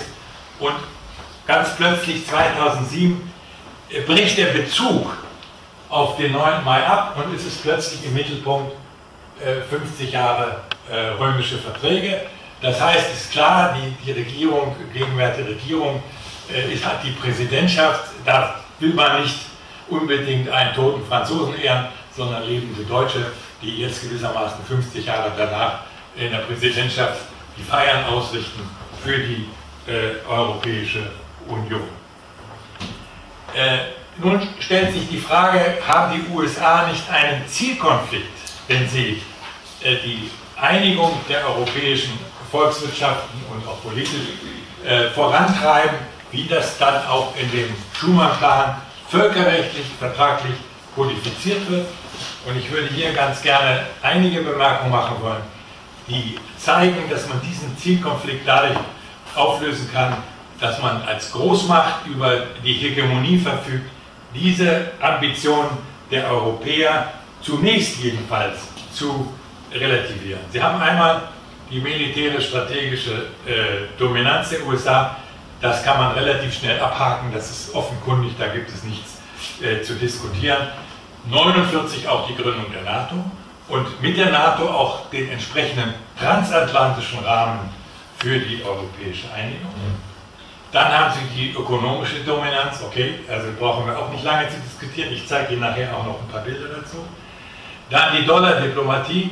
Äh, wer den Spiegel letzte Woche gelesen hat, wird meinen, der Dollar ist immer im Sturzflug, weit gefehlt. Äh, der Dollar ist gewissermaßen das Gütesiegel für, äh, für eine Währung überhaupt. Äh, für immerhin müssen sie für eine Mark damals noch, für einen Dollar noch 4 Mark 20 äh, hinlegen. Dann die Sonderbeziehung zu den USA. Man kann immer, zu, den, zu Großbritannien, man kann immer, wenn die Kontinentaleuropäer, also allzu viele Macht demonstrieren, das Gewicht auch verlagern auf die, äh, auch nach Großbritannien als Gegengewicht. Dann hat man eine Bilateralisierung der Beziehung zu Europa. Das heißt, diese Verträge werden nicht geschlossen mit irgendeiner europäischen Organisation, die Marshallplan-Verträge, sondern einzeln mit jedem Staat, überspitzt formuliert wieder, DVD et impera, das heißt, man kann genau äh, äh, Einfluss nehmen und man hat auch über die äh, Marshallplan-Gelder Einfluss auf die Investitionsentscheidungen in den äh, Empfängerländern und dann ist die Bundesrepublik besonders abhängig von den USA, wenn sie gewissermaßen wieder äh, international äh, aufsteigen will. Und diese Abhängigkeit nutzen die USA, um über die Bundesrepublik in die europäischen Institutionen dann später hinein zu wirken, ohne direkt in Erscheinung treten zu müssen. Äh, und schließlich äh, haben sie noch die Amerikanisierung der westeuropäischen Wirtschaft. Das heißt, sowohl ordnungspolitisch, Stichwort Privatkapitalismus, als auch von den gesamten Rahmenbedingungen der Wirtschaft her, Produktivität und so weiter, äh, ist Amerika das äh, Vorbild. Und ich hatte eben schon eigentlich angesprochen, die Mechanismen der informellen Einflussnahme. Das heißt, man nimmt Einfluss, ohne das politisch an die große Glocke äh, zu hängen. Ein Beispiel ist etwa die Sozialisierung im Ruhrgebiet. Die Briten wollen sozialisieren, die Amerikaner wollen das nicht. Die Amerikaner sagen das aber nicht offen, sondern hinter den Kulissen zwingen sie die Briten, ihre Sozialisierung abzusagen. Das heißt, man hat das Ziel erreicht, ohne dass man formell in Erscheinung tritt. Äh, dann würde ich ganz gerne Ihnen die, ein paar Beispiele äh, geben für die Visualisierung der amerikanischen Hegemonie. Das heißt, das Publikum in Europa wird an die Bedeutung des Amerikas ständig erinnert. Die beste Erinnerung ist eben dieses Level. dass auf jeder Marshallplanlieferung, jedem Haus, was gebaut wird, in irgendeiner Weise eingebracht ist. Das heißt also, tue Gutes und rede darüber. Hier äh, wird daran erinnert, äh, wo die Hilfe herkommt. Hier auch, Amerika hilft Deutschland mit äh, Textilien. Hier Österreich, 60 Prozent deiner Ration äh, äh, sind ein Geschenk des Amer der Amerikaner für Österreich. Und das gibt euch die Möglichkeit, letztlich zu überleben. Hier auch Saatgut und Düngemittel kommen aus Amerika, also gewissermaßen Landwirtschaft ist nur möglich ohne die Hilfe aus Amerika. Marshallplan Mehl aus den USA. Hier haben Sie schon etwas, was ich gleich noch ansprechen möchte, die transatlantische Verbindung, die sichtbar gemacht wird. Und hier ein Meisterstück der Grafik, finde ich, aus der damaligen Zeit. Äh, Sie haben das Fresspaket im Hintergrund, die Erwartungshaltung der Europäer, das Schiff, was das bringt, und dann auch die Freiheitsstatue, die gewissermaßen die demokratische äh, äh Komponente symbolisiert. Zur Visualisierung der amerikanischen Ökonomie gehört auch die Betonung der transatlantischen Beziehungen. Das ist eine Bagatelle, aber von dem Europazug, der Rauch, verbindet Europa mit äh, Amerika. Hier ist es auch so in dem italienischen Plakat, die Brücke, die gebaut wird, geht über den Atlantik. Hier mit vereinten Kräften, also rechts ist das für Österreich das Plakat, links für äh, Deutschland, Europa plant, Amerika hilft. Also gewissermaßen diese Verbindung. Und hier äh, auch diese Ehre, die gewissermaßen aus Amerika kommt und ausstrahlt auf Amerika. Und diejenigen, die ganz kühn interpretieren, die zählen die Ehren nach, kommen auf 13 und das sind die ursprünglichen amerikanischen Kolonien. Äh, mein Tipp ist, dass das kein Zufall ist. Äh, und dann die Betonung, und dann die Betonung der kulturellen Gemeinsamkeiten. Wir kommen doch alle aus Europa, so wie Clinton gerufen hat in Afrika, come, all come out of Africa. Wir haben doch gewissermaßen, wir kommen aus diesen Wurzeln und wir gehören zusammen. Äh, das wird äh, wiederholt äh, thematisiert. Das ist aus dem Film ausgeschnitten, Euro 80 Dollars. Und dann die überragende Bedeutung der USA, die dann, die, ich habe das gewissermaßen künstlich äh, äh auseinandergetommen, hier ist ein Film, The Story of Kula, der gedreht wurde von den Marshallplan-Leuten, relativ unpolitisch. Die Story ist, ein griechischer Junge verliert seinen Vater im Krieg, dann verliert die Familie auch den, den Esel, der die Landwirtschaft äh, bewirtschaftet. So, und jetzt bekommen sie zugeteilt einen Mul aus Amerika, und nur der Junge ist in der Lage, mit dem Tier umzugehen. Und das Weitere möchte ich Ihnen gerne im Bild zeigen. Natürlich kommt das, der Mul aus den USA, das ist da wird gezeigt und eingebrannt, wo das herkommt. Ich soll das machen, die anderen werden damit nicht fertig. Sie sehen, Junge und amerikanisches Tier. Er hat den Gedanken, dass er sich einen Esel holt aus dem Dorf und weil der, der Muli so, so widerspenstig ist, sie zusammenspannt, damit er lernt, in Griechenland zu flügen. Und nach Strapazen lernt er das. Und dann haben sie hier vereint den Mul, den Esel, den Jungen, äh, die äh, da äh, das Feld pflügen, vorne noch die Großeltern, die sich abracken. Sie haben also von vorne nach hinten den Fortschritt. Sie haben Versöhnung des alten Kontinents in Form des Esels mit dem neuen in Form des Mulis und sie haben die äh, gewissermaßen die Hoffnung, die gesetzt wird auf die Jugend, weil die Alten können mit dem Mul nicht, äh, nichts anfangen. Der Junge ist in der Lage, dieses äh, zu managen. Die perfekte Erfolgsstory, Kind, Tier, Amerika, äh, dieses Ding ist dann auch in, in neun Sprachen synchronisiert worden. Hier haben Sie ein anderes Beispiel, das ein österreichisches Plakat, Sie kennen das, dass eben die Brücke zu Europa, da ist der entscheidende, das entscheidende Versatzstück ist in äh, Amerika. Ähm, ich will jetzt auf die Anschlussproblematik eingehen. Hier ist auch, ja, Power kommt aus Amerika, aus, aus Europa, aber gewiss die Richtung gibt die amerikanische, äh, der amerikanische äh, äh Schaufelstiel vor. Auch hier die Sonne scheint auf Europa und die, äh, der Wohlstand kann erblühen. Hier das französische Plakat, von oben eben die amerikanischen Farben. Trotz allem Licht aus Amerika, das sind schon halbgöttliche gewissermaßen Assoziationen, die da geweckt werden, bringen hier äh, die, äh, die Keime hervor und das ist ein klassisches Beispiel, whatever the weather, we only reach welfare together.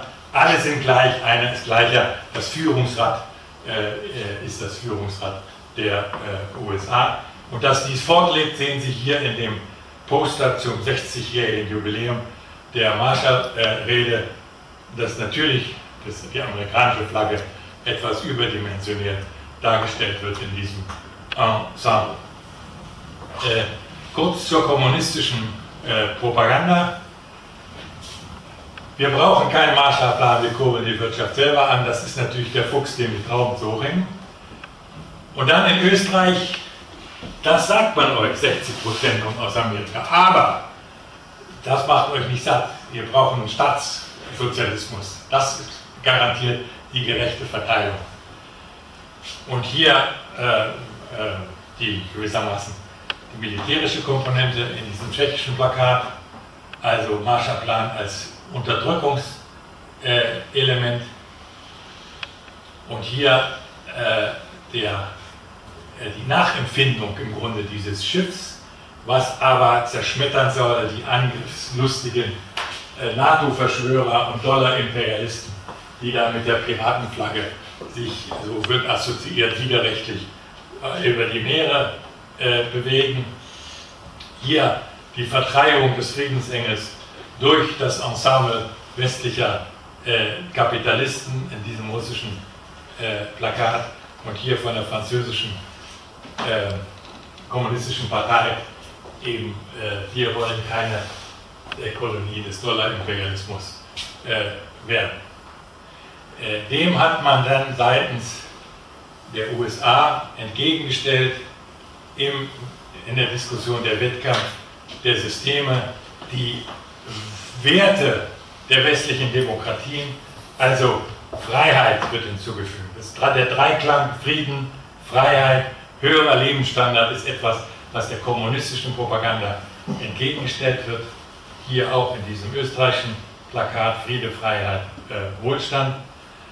Und äh, dies ist ein äh, Programm gewesen der Berlinale äh, von vier bis sechs.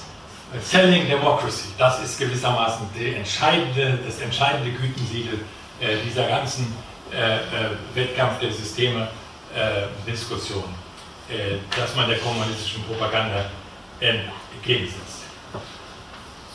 und schließlich Amerika als Modell äh, hier wird dann äh, genannt die Produktivität. Äh, es gibt einen Film, Productivity, The Key to Plenty. Und in diesem Film wird eben dargestellt, dass durch die Produktivitätssteigerung in Amerika äh, über die Jahrzehnte äh, auch die äh, Wohlstandssteigerung hervorgerufen wird. Das heißt also, der Arbeiter in Amerika sich mehr leisten kann durch Produktivität als irgendwo anders in der Welt. Alle sollen besser leben, ist der Slogan. Und außerdem werden die USA als integrationspolitisches Vorbild dargestellt. Alle sollen besser leben, ist auch der Titel einer großen äh, Rationalisierungsausstellung in Düsseldorf 53, die vom Wirtschaftsministerium, vom Ministerium für den Marshallplan und anderen äh, veranstaltet wurde. Und dann äh, hatte ich ja eben genannt, die USA als integrationspolitisches Vorbild. Und hier wird in diesem ERP-Film Tom Schuler, Cobra Statesman, das ist eine fiktive Figur, eine Geschichte erzählt, dass eben ein Schuster in die Politik geht, sich aufregt aufgrund seiner Erfahrung über die Zölle, die man zahlen muss in Amerika, sich einsetzt für den Abbau der Zollschranken und schließlich dazu beiträgt, dass dieser Flickenteppich der ursprünglich 13 Kolonien überwunden wird, sich in einer Einheit äh, zu einer Einheit in Fort Siegel. Und die Botschaft ist, wenn ihr Europäer es so macht wie wir, dann werdet ihr auch zu einer Integration kommen, ihr werdet in Wohlstand leben äh, und ihr braucht nur unsere Methoden zu äh, übernehmen. Und ich möchte dann äh, zum Schluss ein paar Bemerkungen nur noch machen über Hegemonie durch äh, Demokratie. Äh, die Vorteile der amerikanischen Integrationspolitik in Europa liegen auf der Hand. Äh, es ist allerdings, und da muss man äh, die Nachteile erwähnen, es ist eine westeuropäische Integrationspolitik, die die Spaltung Europas herbeiführt für bis mindestens 89 in den Köpfen etwas länger. Dann äh, hat äh, diese Politik den Vorteil, äh, äh diese äh, äh, Integrationspolitik, dass man zu einer doppelten Eindämmung kommt. Nicht nur ein Bollwerk wird errichtet gegen den Kommunismus, sondern eben auch, wie schon erwähnt, gegen vor allem die deutschen Ambitionen. Die Deutschen werden zwangseingebunden äh, und tun das auch gerne, weil es für sie indirekter Machtgewinn ist, in äh, die europäische Integration. Und die Frage ist jetzt Empire by Integration. Der schwedische Historiker, norwegische Historiker Geir Lundestad hat diese Frage in einem äh, Buch aufgeworfen und die Antwort lautet, jawohl, Integration ist genehm, aber Integration nur, wenn sie stattfindet, aus amerikanischer Sicht, im transatlantischen äh, Rahmen. Dies ist möglich bis mindestens in die äh, 60er Jahre dadurch, dass Europa ist für Amerika ein Empire by Invitation, auch eine äh, Wortprägung von Gehr äh, Lundestad, weil nämlich äh, die ähm, äh, europäischen Staaten mit wenigen Ausnahmen bereit sind, diese amerikanische Führungsrolle zu äh, akzeptieren und auch die gewissermaßen Geburtshelferschaft Amerikas bei der europäischen Integration positiv äh, bewerten. Und schließlich gehört zu diesem äh, Hegemonieanspruch der USA, dass die Pax Amerikaner ein alternatives, äh, alternativloses Modell ist. Das heißt, bei allen Diskussionen über Demokratie und Selbstbestimmung in der Gegenwart darf man nicht vergessen, Demokratie bedeutet für die USA immer Demokratie mit einer privatkapitalistischen Wirtschaft und Selbstbestimmung bedeutet, der amerikanische Historiker William Williams hat das Verb geprägt, to self-determine, dass die Selbstbestimmer angeleitet werden äh, aus Washington, wie sie sich selbst zu bestimmen haben, nämlich nach ausschließlich amerikanischen Ordnungsvorstellungen. Das heißt, diese vorerst gescheiterte Demokratisierung des Nahen Ostens mit George Bush ist kein neues Konzept, nur äh, grauenhaft in die, äh, ins, in, in, ins Werk gesetzt. Und Sie haben hier diesen äh, Führungsanspruch kodifiziert in dieser äh, Fahne, in diesem Plakat, das 1945 um die Welt geschickt wurde, eben uh, this flag earns the right to be the most respected national symbol in the world and it is basta. Ich bedanke mich für Ihre Aufmerksamkeit.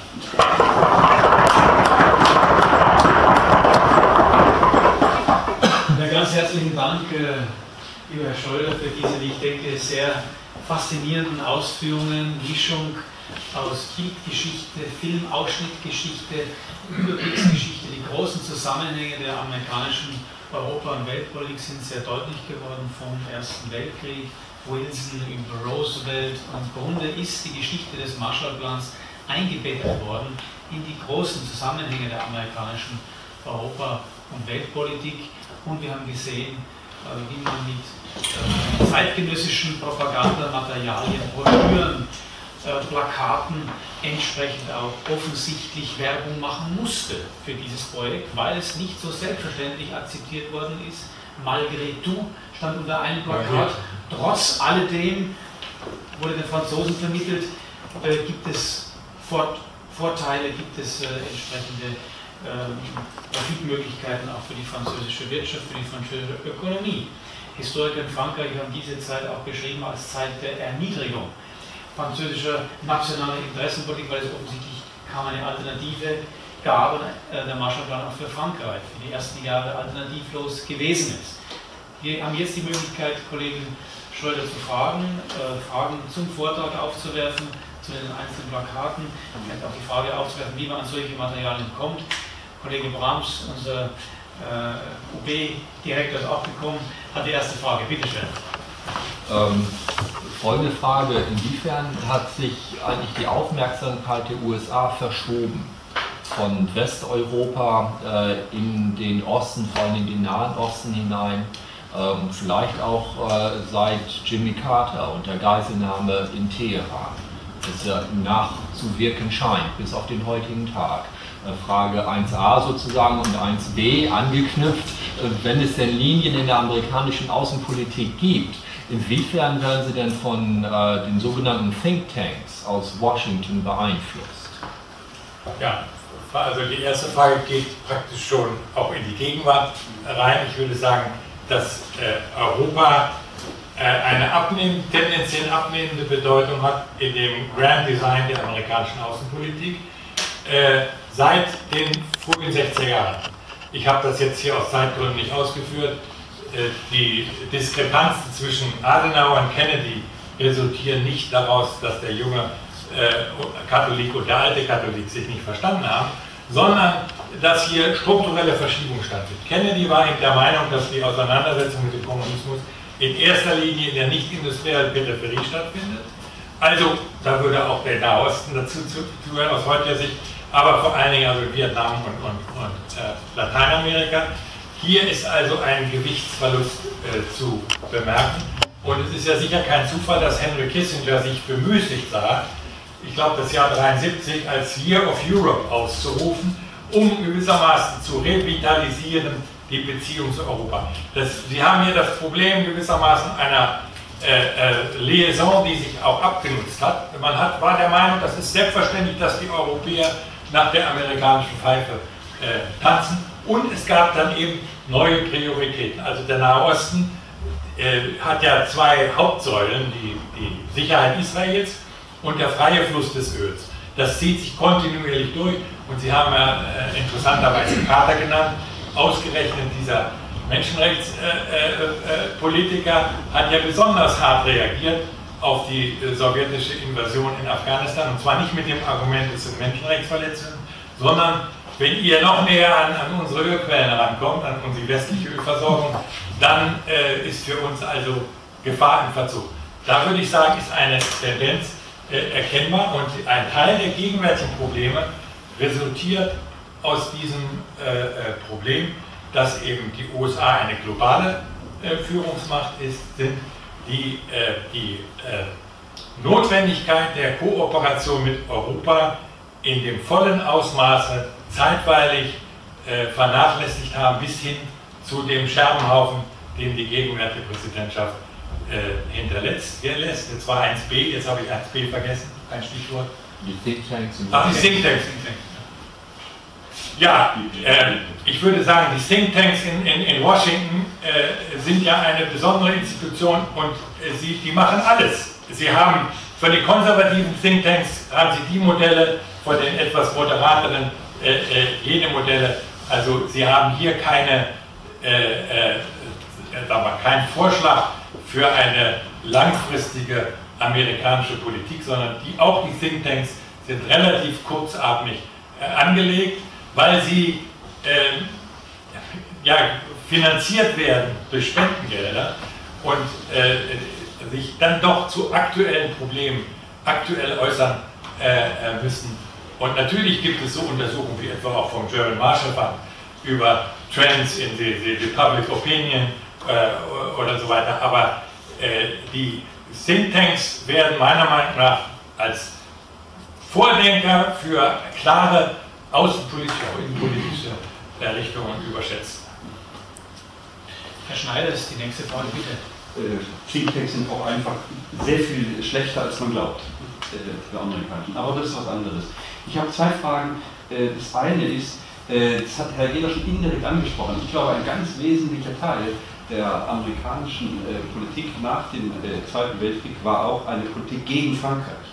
Also gegen diesen Teil äh, der ja schon in den 30, späten 30 und 40 Jahren nicht ganz so einfach war, auch im Hinblick auf die Zusammenarbeit, auch die teilweise vereinte Kriegsführung, zum Beispiel in der Türkei und Syrien. Da haben die Deutschen, Nazi-Deutschland und Frankreich, äh, so Vichy-Frankreich ja zusammen gekämpft, zusammen geschossen gegen die Engländer.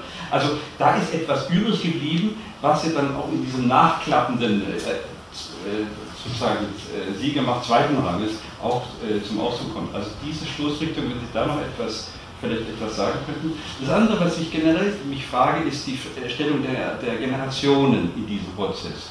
Einerseits, die amerikanische Politik scheint mir in wesentlichen Teilen auch dadurch bestimmt zu sein, dass sie teilweise von den Exulanten aus Europa sozusagen informell auch geprägt wird, über die Hochschulen zum Beispiel, und dass die in der Schülergeneration dann äh, auch noch einigen Einfluss haben, dass aber dann äh, dieses, äh, dieses äh, ja, auch das Wissen um Europa äh, ausdünnt mit, mit, mit Folgen und das dann äh, in den 60er, 70er Teilen Umschlag passiert. Auf der einen Seite.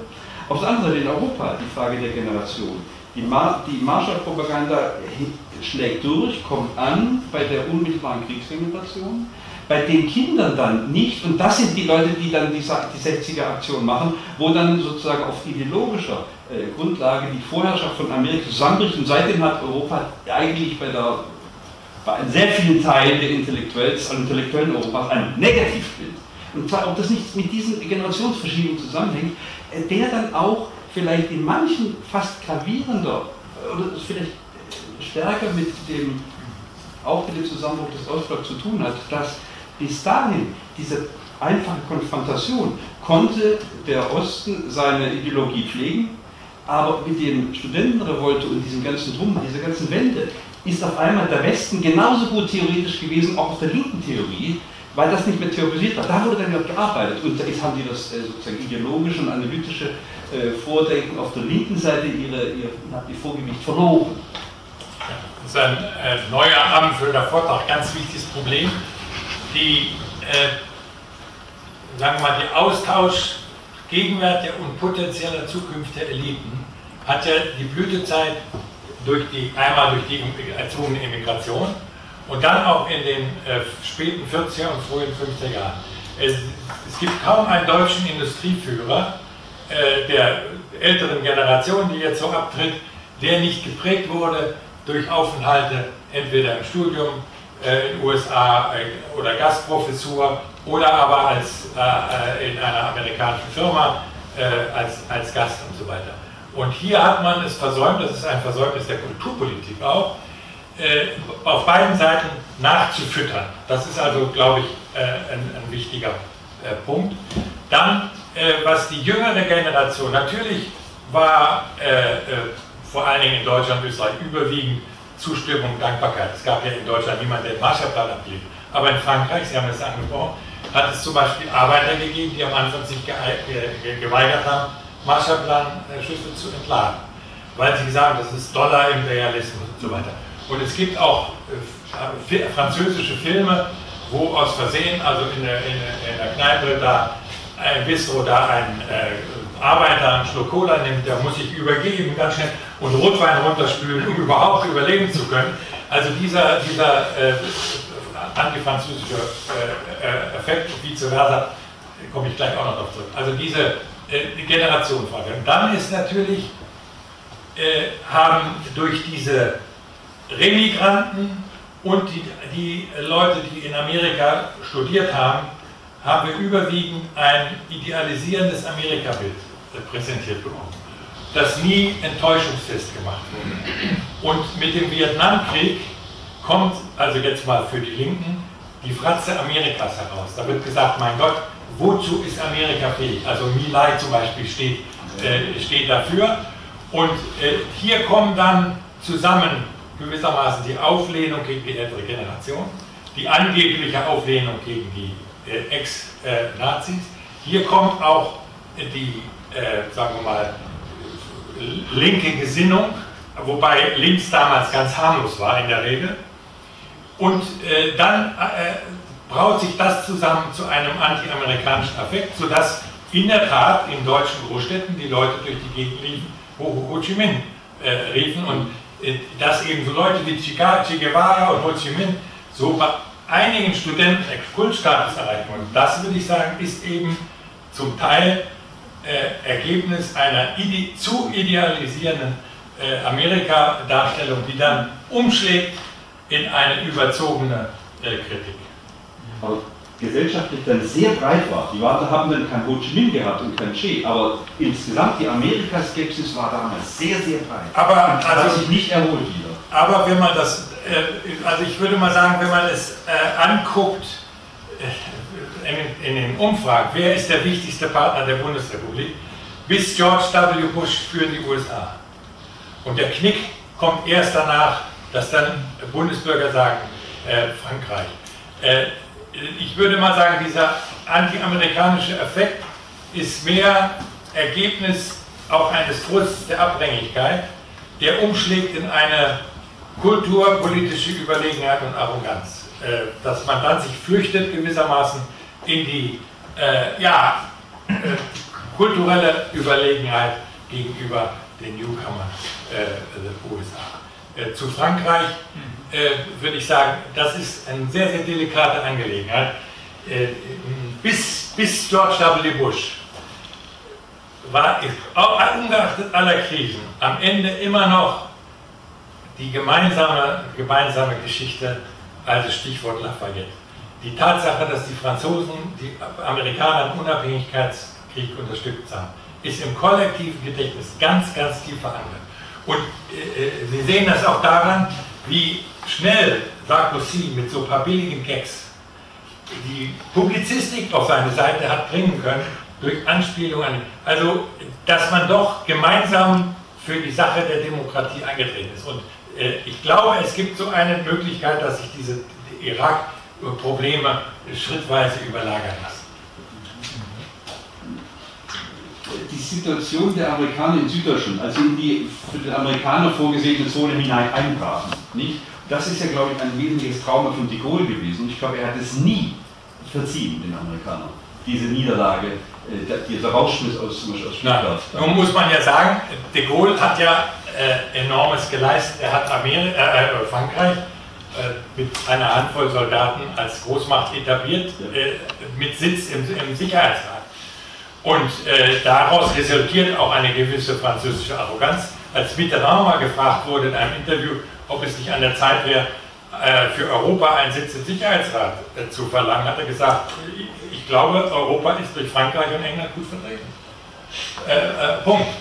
Also, äh, ich, das, das, sagen wir mal, das Verhältnis zu Frankreich ist sehr störanfällig, aber wenn es wirklich auf Hauen und Stechen kommt, glaube ich, ist die, die, die Solidaritätsachse relativ stark. Bitte schön. Mich würde mal das Gewicht des Marshallplans interessieren. Wenn ich die Zahl richtig in Erinnerung habe, war der 1947 13 Milliarden Dollar schwer. Ja.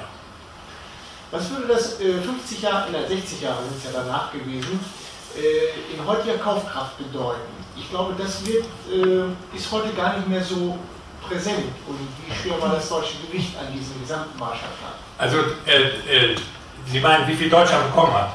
Äh, das war die erste Frage. Und was, würde, was sind die 13 Milliarden von damals in, in Kaufkraft ja. etwa heute? Es gibt ja die Versuchung, gibt es, ne? genau, also diese 13 sowieso Milliarden, wenn man das hochrechnet auf heute, wären das ungefähr 100 Milliarden Dollar.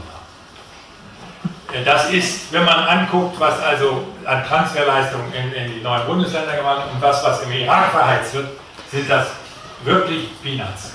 Das ist ja das Phänomen. Und Deutschland hat etwa 2,3 Milliarden bekommen. Aber Deutschland als Einzelland nicht geschenkt bekommen. Das ist also auch im, im kollektiven Bewusstsein durch die Propaganda etwas verzerrt. Deutschland hat es bis auf einen kleinen Rest zurückgezahlt. Äh, vorzeitig, weil die Wirtschaft äh, floriert.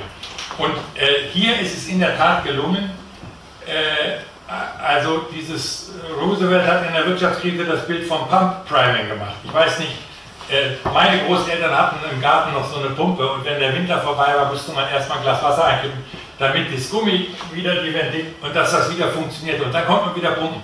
Das heißt, nur die Anschubfinanzierung, äh, das war wichtig und ich glaube, bin hier nicht drauf eingegangen, die psychologische Wirkung. Sie müssen sich vorstellen, da wird angekündigt, aus Amerika kommt Hilfe. Und dann ist auch der Betrieb, der sagen wir, für seine ganz guten Kunden noch zwei Ballen Baumwolle auf die Seite gelegt hat, der sagt, jetzt kann man in die Vollen gehen, wenn da wieder was kommt. Äh, ich erinnere mich, wenn ich als Zeitzeuge sprechen darf, dass bei der Währungsreform mein Vater, es gab ja erst 40 Mark Kopfquote, hat mir eine Mark äh, Taschengeld gegeben. Mein Gott, das ist ein Vierzigstel des Gesamtvermögens. Äh, äh, das muss ja ein enormes Vertrauen sein, dass es weitergeht. Wenn man das riskiert, so viel gewissermaßen. Äh, und da, da, ist es also die, die Anschubfinanzierung und die Überwindung von, von Engpässen in, in Schlüsselnotfällen das eine Rolle spielt. Dann natürlich der Wohnungsbau, die Erkenntnis, dass ohne Wohnungen die Arbeiter nicht so untergebracht sind, dass sie vernünftig arbeiten können, keine Leistung erbringen können, dass man äh, die Arbeiter im Ruhrgebiet nicht nur mit Büttlungsköpfen ernähren äh, kann, sondern ne, dass da schon ein bisschen mehr dazu gehört und so weiter. Aber das ist das Phänomen, äh, das aus heutiger Sicht fast unvorstellbar ist, mit wie geringen finanziellen Mitteln diese ganze, äh, äh dieser ganze Prozess in Gang ist. Fragen noch an Herrn Schröder, bitte, Herr Johann. Nein. Äh, Reinhold, Entschuldigung.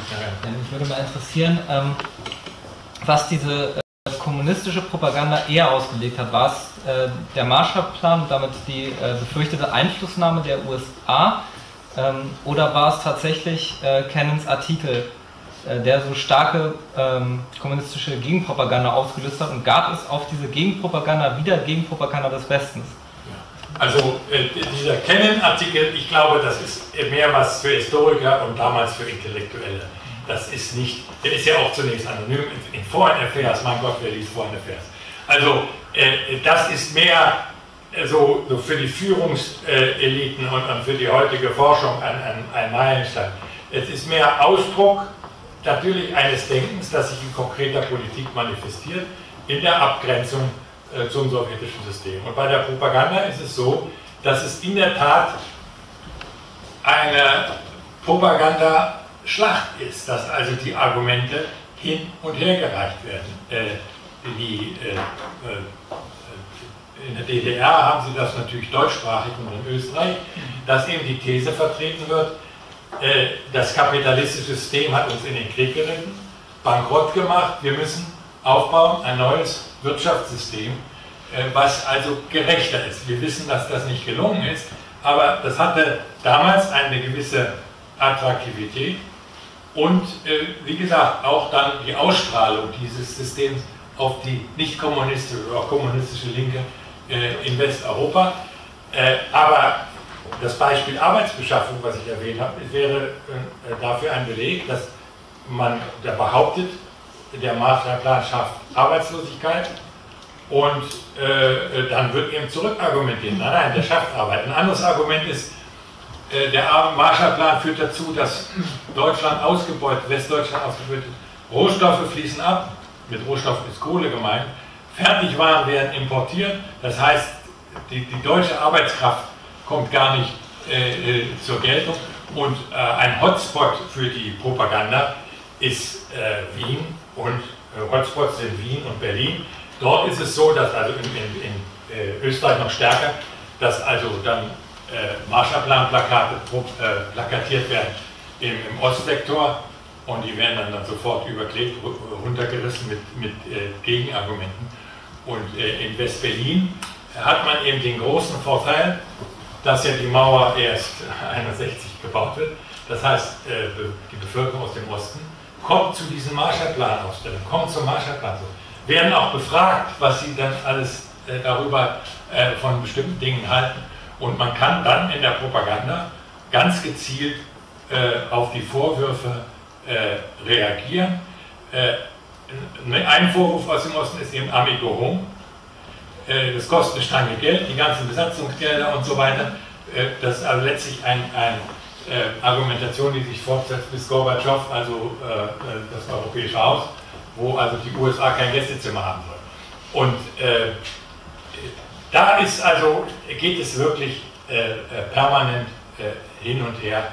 Und es ist ja so, dass das, was ich Ihnen gezeigt habe, ist nur die Spitze des Eisbergs. es gibt inzwischen drei CD-ROM und DVD-Publikationen mit äh, Postern aus der äh, äh, sowjetischen Besatzungszonen aus der DDR, wo also die ganze Palette der Argumente nachvollzogen werden kann, die da präsentiert ist. Fragen noch an Herrn Schröder. Bitte schön. Noch eine Frage.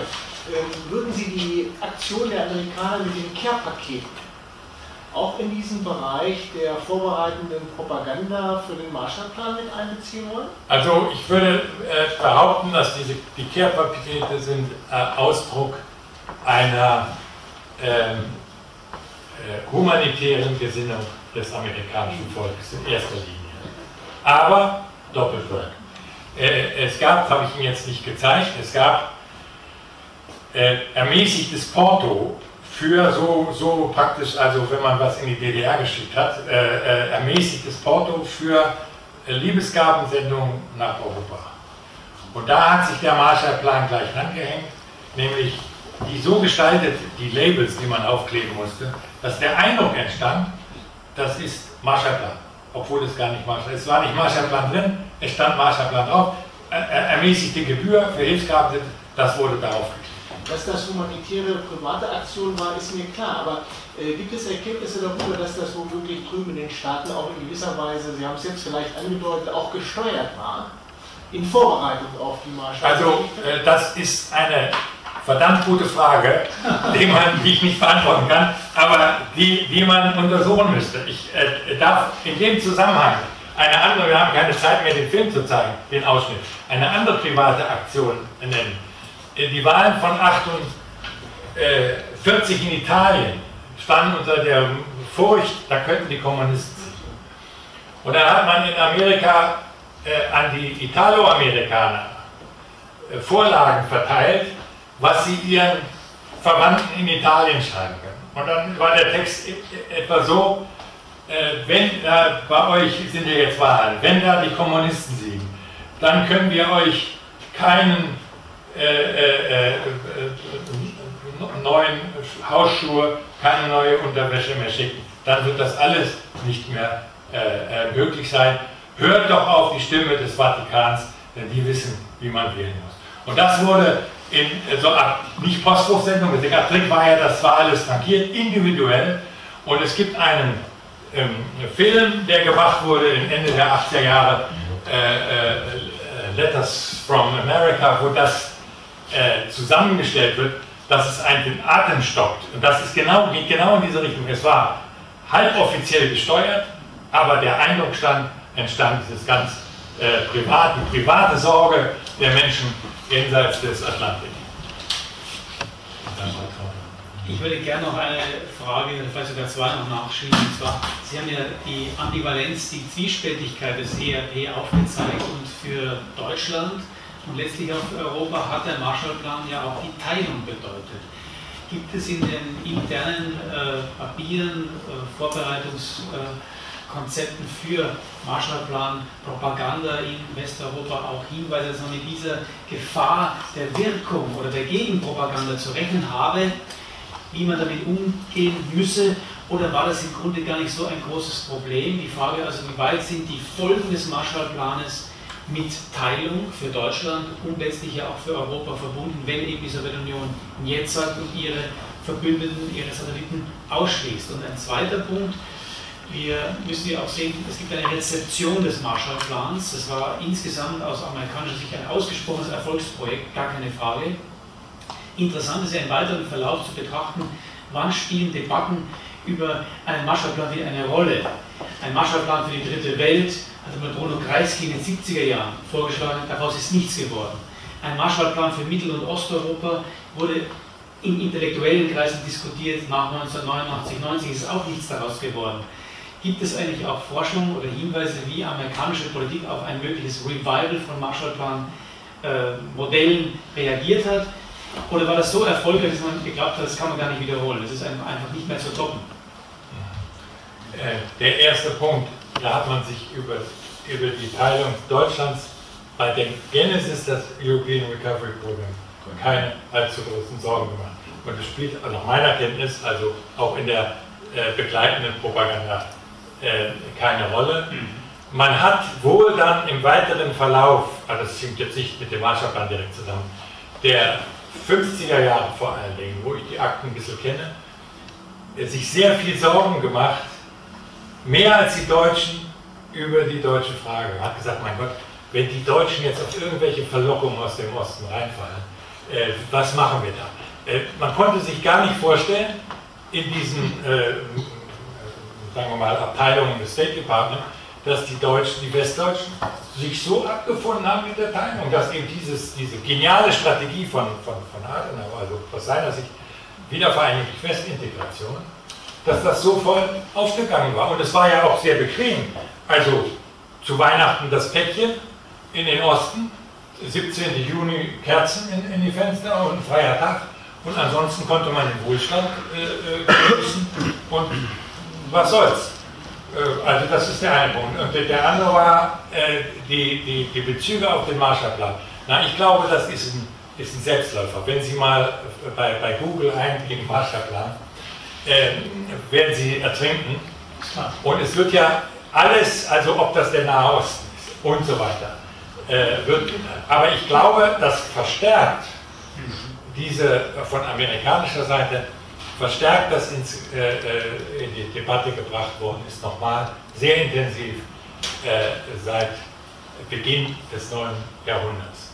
Weil nämlich äh, die, gewissermaßen die Rückbesinnung auf den Good War, den Zweiten Weltkrieg, eine enorme Rolle spielt, zur Legitimierung auch des gegenwärtigen oder der gegenwärtigen Kriege.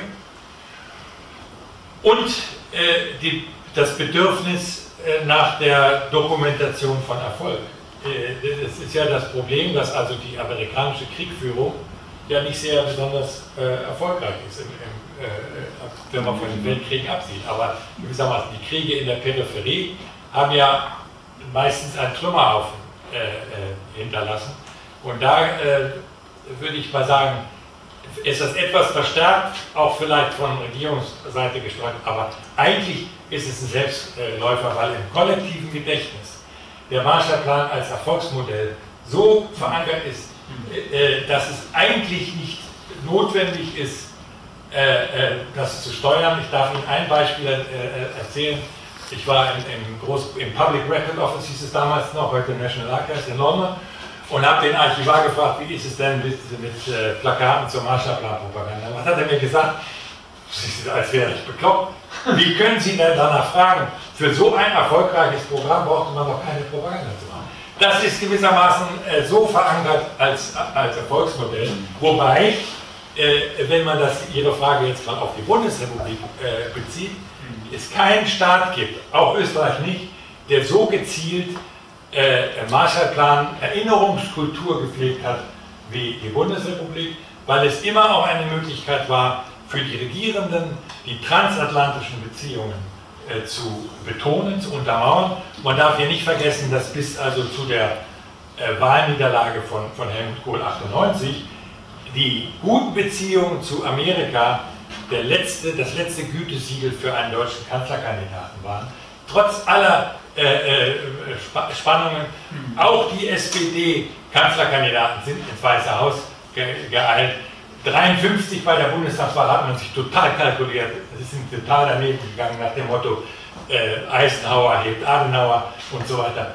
Und dann äh, hat man bei 57 Plakate geklebt, also Ollenhauer ist da äh, äh ins Weiße Haus gereist und der, der Anschlag äh, und so weiter. Ähm, anfangs, äh, dass äh, die Sowjetunion äh, keine Gelder bekommen hat von Amerika für Reparaturen und so weiter. Und das ist wahrscheinlich erfolgt nachdem, nach dem Krieg, dass Russland die Sowjetunion nichts bekommen hat und wahrscheinlich, weil Churchill gesagt hat, wir haben das falsche Schwein geschlachtet. Nicht? Äh, naja, es ist einfach, äh, da mal die Konfrontation. Ich glaube, dass Churchill keine Rolle mehr spielt. Äh, äh, wir haben uns ja vorhin unterhalten, äh, Churchills Zürcher Rede, Europaverein muss sich vereinigen, das ist reine Show. Also mehr ist das nicht. Der hat gewusst, wenn man nochmal also in die Schlagzeilen kommen will, dann muss man jetzt was für ein vereintes Europa sagen. Was, was sollte man sonst sagen, 46? Also für ein zerstrittenes Europa konnte man ja schlechte Augen machen. Äh, ich glaube, dass die, äh, die, die Vorstellung auf, auf der, bei den amerikanischen Führungseliten ist, dass man äh, die Sowjetunion, dass man die, den finanziellen Hebel, also die Verweigerung von Hilfe, benutzen wollte als Instrument zur Erreichung von politischem Wohlverhalten. Man hat eben dort, wo man überlegen war, versucht, die Sowjetunion an die Kandare zu nehmen. Es gab in Amerika übrigens da unterschiedliche Meinungen. Henry Stimson, der Verteidigungsminister hat noch während des Krieges, als diese Anfrage kam von den Russen Anfang 45, wie ist das, könnt ihr 6 Milliarden locker machen, gesagt, wir sollten ihnen sogar 10 Milliarden geben, denn der Aufbau der Sowjetunion ist etwas, von dem wir auch profitieren können und so weiter. Und das würde auch unseren Goodwill äh, dokumentieren. Aber bei Truman hat sich die Erkenntnis dann durchgesetzt, also äh, harte Abgrenzung, äh, da, das benutzen wir als Instrument, um die Sowjets zur Raison zu bringen. Obwohl sie vorher die Sowjetunion unterstützt haben. Ja, wenn sie, also ich, äh, äh, wenn Sie also äh, sich die Propaganda im Zweiten Weltkrieg angucken, die äh, äh, Amerikaner haben über Frankreich Kindermalbücher abgeworfen mit Onkel Joe, wo man dann ausmalen konnte, der gute Onkel äh, da im, im, im, im Kreml. Das hat sich dann natürlich relativ schnell verflüchtet. Herr Schneider, Sie haben noch eine Frage. Ja, äh, zu einem Teil, äh, glaube ich, sollte man aber auch noch in Betracht ziehen, zu diesem Erfolg des Marshallplans, dass ein Teil, gerade auch der Industrie, der Industrieführungen in, äh, in Deutschland, aber auch äh, in weiteren, darüber hinaus in Europa, seinerseits schon längerfristig westorientiert war. Das hatte die Nazi-Propaganda zwar teilweise verdeckt, war aber latent da. Da gibt es äh, ein, ein, massives Erbe aus den 20er Jahren, das da sehr interessiert dran ist, mit, mit äh, Amerika da in, äh, wirtschaftlich sozusagen einen Austausch zu machen. Das also die Westorientierung ist nicht ist latent da gewesen, verdeckt und wurde jetzt teilweise äh, hochgeholt wieder. Also das erklärt, meine ich, einen Teil des Erfolges von vornherein schon. Das ist die eine Frage. Die andere Frage ist, äh, während der Zeit dieses Erfolgsmodells, war Marshallplan Europa, kommt ja der Zusammenbruch oder der Abstieg Lateinamerikas.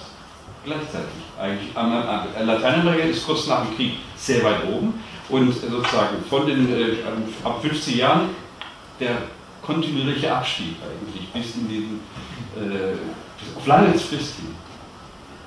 Wie das? Zusammenhang. Also der, der lange Weg nach Westen, Heinrich August Winter, da ist natürlich die Weimarer Republik auch eine Etappe und äh, bis hin ja zu Hitler der ja, äh, sagen wir, ein ambivalentes Amerika-Bild hat, wo die Faszination für die äh, Massenproduktion, also äh, Fließbandproduktion, ja durchaus äh, äh, vorhanden war. Also äh, es ist ja auch so, dass durch die amerikanischen Investitionen in Westeuropa mit Schwerpunkt Deutschland übrigens natürlich auch die, die Führungseliten zum Teil westlich orientiert sind und selbst, sagen wir mal, eingefleischte Nazis äh, äh, am Ende des Weltkrieges erkannt haben, äh, also wenn es weitergeht, dann nur mit den Amerikanern. Und äh, wenn man mal guckt, die haben ihr Bankkonto aufgelöst in Leipzig, ein Postbarbuch genommen, weil sie wussten, das kann ich mitnehmen und das kann ich da drüben äh, wieder einnehmen. Also damals äh, diese, diese Erwartung an Amerika, die ist also und die Hoffnung auf Amerika mit Sicherheit äh, viel, viel äh, früher vorhanden und, und, mit ganz großer Sicherheit in den 20er Jahren. Das habe ich den anderen Punkt vergessen. Lateinamerika. Ach so, Lateinamerika. Also ich würde sagen, Lateinamerika erlebt, Sie meinen im Zweiten Weltkrieg. Nach dem Zweiten Weltkrieg, während des Marshallplans kommt die. Nein, aber äh, es hat äh, diesen Vor diese Frage gegeben äh, an äh, Will Clayton einer der Architekten der ökonomischen Planung zum Beispiel sollten wir nicht sowas auch für Lateinamerika machen? Die Lateinamerikaner haben ja große Anstrengungen im Krieg aber und so weiter. Die ganz brutale Antwort, knapp und bündig, kommt nicht in Frage. Der Marshallplan ist ein Wiederaufbauprogramm. Äh, Lateinamerika ist ja noch gar nicht entwickelt. äh, ist sofort abgeschmettert worden. Hier liegt ja auch, sagen wir mal, äh, der fundamentale, das fundamentale Missverständnis, wenn man einen Marshallplan für alles erklärt, Afrika, Indonesien, äh, dass eben der Marshallplan und sein Erfolg daraus resultiert, dass es ein Wiederaufbauprogramm war. Das heißt, die, die Infrastruktur war zwar beschädigt, aber grundsätzlich vorhanden, industriell, äh, verkehrstechnisch und so weiter, während es sich ja in Lateinamerika in dieser Zeit und sonst in den meisten Teilen der Welt, wo dieser Vergleich herangezogen wird, um eine Entwicklungspolitik handeln würde. Der Vergleich also völlig äh, windschief ist aus meiner Sicht. Sie haben darauf hingewiesen, dass die Rede von Churchill im Jahr 1946 überbewertet ist. Interessant ist, dass man in Europa mehr über diese Rede spricht, mehr diese Rede zitiert, die eigentlich nur 17 Minuten gedauert hat äh, und, äh, wie Sie sagen, eher was naja, fast Selbstverständliches beinhaltet. Was aber, denke ich, weniger beachtet wird in der Forschung, ist eine Rede, die im gleichen Jahr gehalten wird, 1946, die Rede von Burns. Die Stuttgarter Rede, die viele als eine Wende in der amerikanischen Deutschlandpolitik interpretiert haben und interpretieren. Wie steht diese Rede von Burns, die vielen Deutschen auch in der Kriegsgefangenschaft wieder Hoffnung gegeben hat, auch die Erwartungen gesteigert hat, wie steht diese Rede von Burns, der dann in weiterer Folge keine Rolle mehr spielt, im Kontext der Ankündigung von Truman, Containment im März und dann der Rede von Marshall, der berühmten vom Juni 47, kann man da Zusammenhänge herstellen oder sind das doch getrennte äh, Stränge? Nein, ich würde schon sagen, dass die Amerikaner sehr schnell, ungeachtet also von Fraternisierungsverbot äh, und all diesen äh, offiziellen Bestimmungen, sehr schnell dazu übergegangen sind, in Westdeutschland eine ganz pragmatische Wiederaufbau, Stabilisierungspolitik äh, zu betreiben. Und äh, diese Burns-Rede wird ja auch, Sie haben das angesprochen, als äh, Speech of Hope äh, äh, bezeichnet. Und äh, die, an die Deutschen das Signal, also ihr werdet nicht ewig unterdrückt, es gibt für euch eine Chance, also wenn ihr euch vernünftig eingliedert in das westliche System. Dann ja die Ankündigung, und das ist ganz klar gegen die Sowjets gerichtet, wenn ihr äh, weiterhin äh, Absprachen über Deutschland blockiert, dann müssen wir praktisch vorgehen, dann müssen wir eben zunächst mal zwei Zonen zusammenstellen. Es ist ja die Ankündigung auch äh, des Zusammenschlusses der britischen und amerikanischen äh, Zone und äh, diese, diese Burns-Rede hat naturgemäß im amerikanischen Gedächtnis einen größeren Stellenwert, äh, oder nicht naturgemäß, erstaunlicherweise einen größeren Stellenwert als im Deutschen und als Anmerkung, äh, möchte ich nur sagen, äh, es gab ja eine große Feier am letzten Oktober äh, äh in äh, Stuttgart und es war aus meiner Sicht ein schwerer diplomatischer Fehler von Frau Merkel, dass sie da äh, fünf Minuten nach zwölf abgesagt hat, obwohl sie also auf der Rednerliste stand und nicht erschienen ist, wegen irgendwelcher Koalitionsgeräte in Berlin. Und da ging also schon ein unangenehmes Raum durch die amerikanischen Teilnehmer, dass das also ein anderer Punkt, warum, und da, wir haben die Rede von, von äh, Marshall erwähnt, warum dieser dramatische Appell von Churchill so viel Gehör findet, ist natürlich, äh, äh, Churchill ist ein Charakter. Ich meine, selbst wenn er Unsinn redet, wird das zur Kenntnis genommen. Und dann äh, dramatisiert er eben, wir Europäer, wir müssen uns vereinigen. Während er die, die Marshall-Rede bewusst äh, äh, herunterspielt äh, diesen, äh, sagen wir mal, die amerikanische Führung, weil er sagt, ihr Europäer, ihr müsst ein Signal geben, dass ihr zusammenarbeitet. Wir können nur gewissermaßen anregen, wir können nur Impulse geben. Und das eignet sich natürlich als Fixpunkt nicht so gut wie so eine äh, Drama. Aber ich würde sagen, die, die Churchill ist eine typische Schulbuchquellenrede. Äh, das macht sich gut, das ist äh, äh, vorwärts gerichtet und, und so weiter. Aber es ist letztlich ohne Substanz und es ist bedauerlich, dass sie überall immer abgedruckt wird. Ja, meine Damen und Herren, ich glaube, wir haben einen sehr interessanten Abend erlebt, äh, sehr anregende Ausführungen und noch eine sehr spannende Diskussion mit vielen Punkten, die deutlich gemacht haben, wie reich Ihr Vortrag war und wie vor allen Dingen komplex und reich das Thema ist. Herzlichen Dank Ihnen, Herr Schröder, fürs Kommen, für diesen Vortrag mit dieser Visualisierung des Marshallplans, des europäischen Wiederaufbauprogramms und auch Ihnen herzlichen Dank fürs Kommen, für die interessanten, hervorragenden Fragen, die gestellt worden sind. Bis zum nächsten Mal. Dankeschön.